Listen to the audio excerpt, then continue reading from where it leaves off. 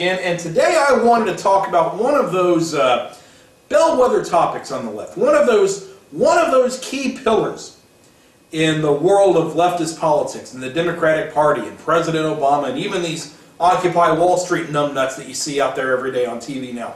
I want to talk about an idea that is absolutely central to them and point out why their interpretation of it is 100% wrong. The idea I want to talk about today is wealth inequity.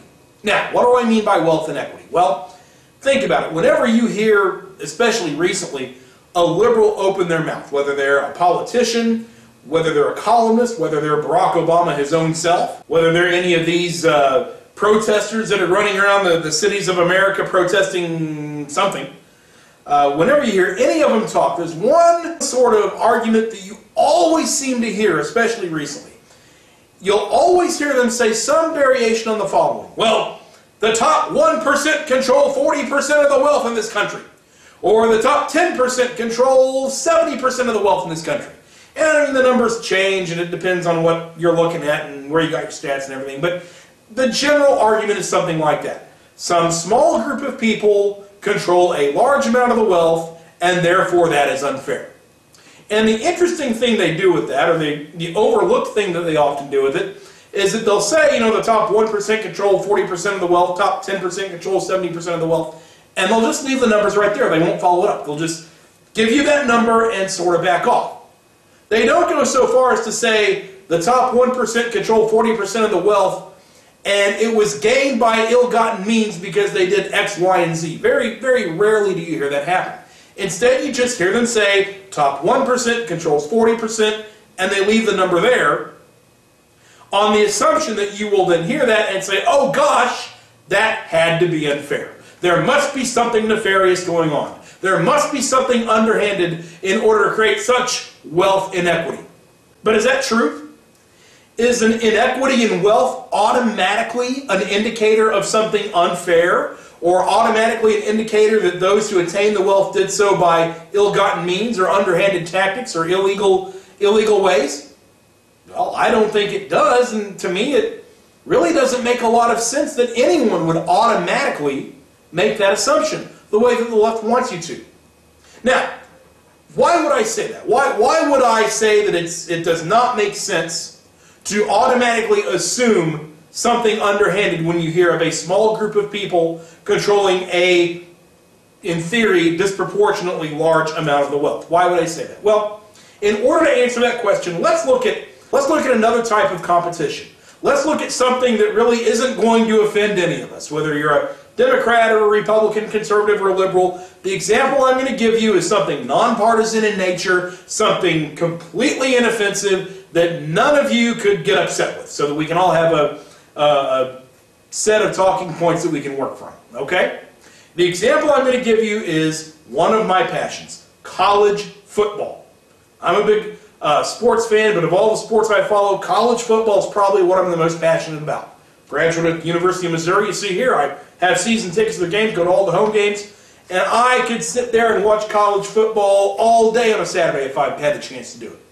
Absolutely love the game.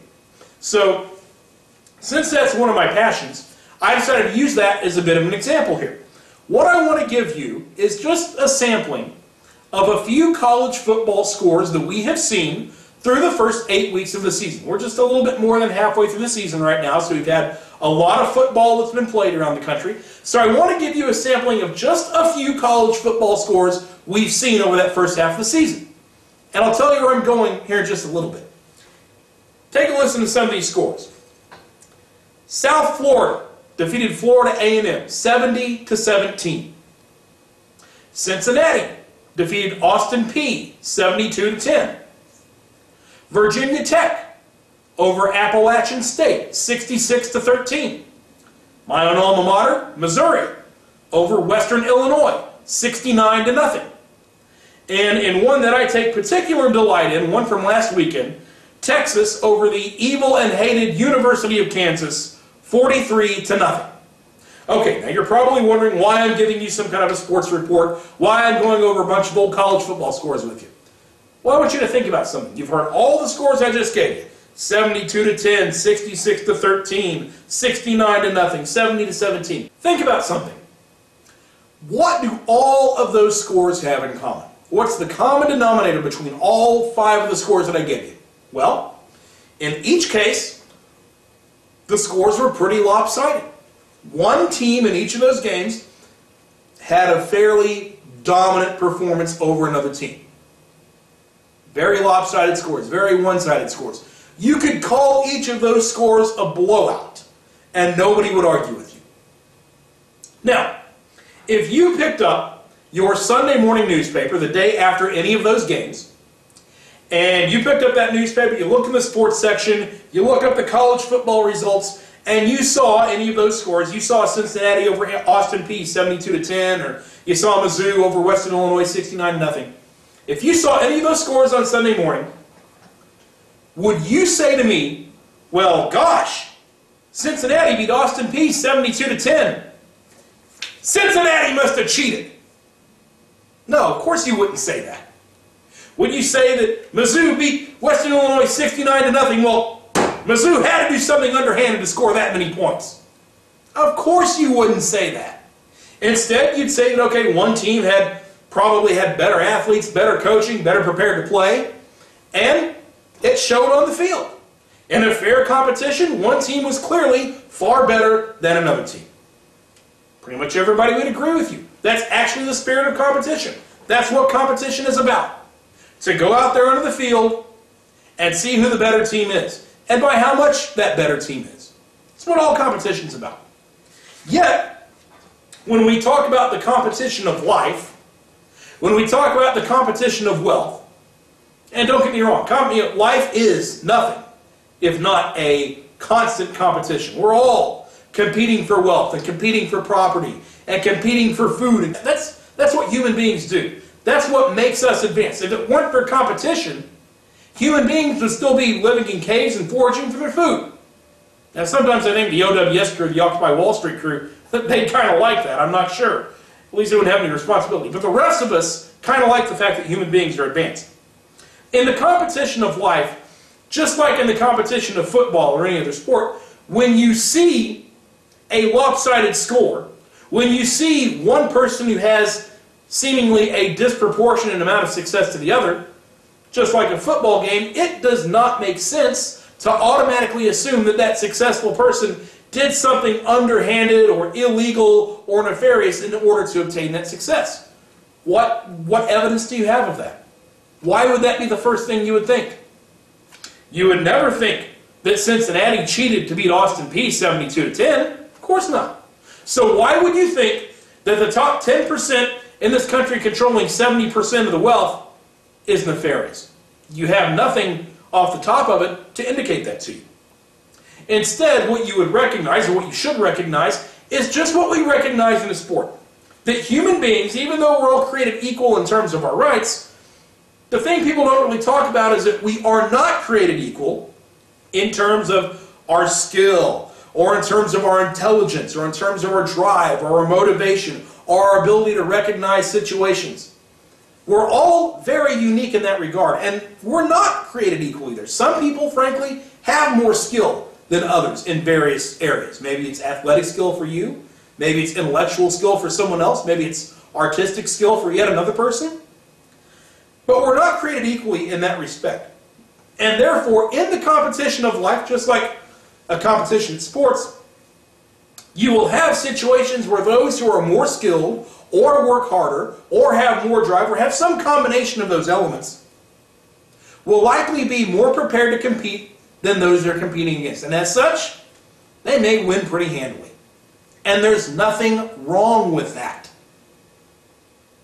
You see, when you're talking about a fair competition, a fair game, in a fair game, those who are the better players, those who are the more skilled, those who do prepare and work harder and have that unique combination of all of those elements, in a fair game, they should have a higher likelihood for success.